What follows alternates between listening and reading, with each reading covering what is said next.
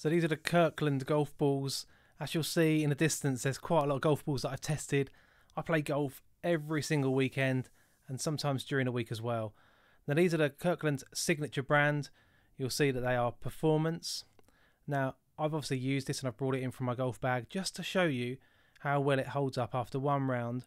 And um, I'm not the best golfer, but you'll see that it's pretty durable. That was a tree. But you know what? For the price, the quality of these golf balls are amazing.